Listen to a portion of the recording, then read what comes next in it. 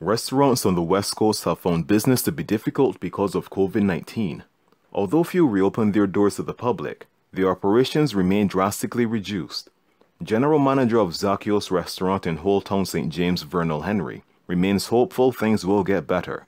He said social distancing limited the number of patrons at any given time, and they had to let go of some staff. We had to um, basically do retraining on, you know, various protocols. And then, I don't know, since June 4th, we've had, well, at first we were able to have diners and have people sit at the bar.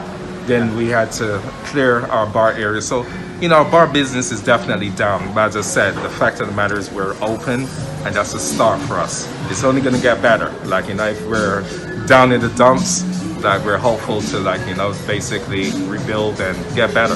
And every day we're trying to get better. That's basically what we can do. Only, only option for us.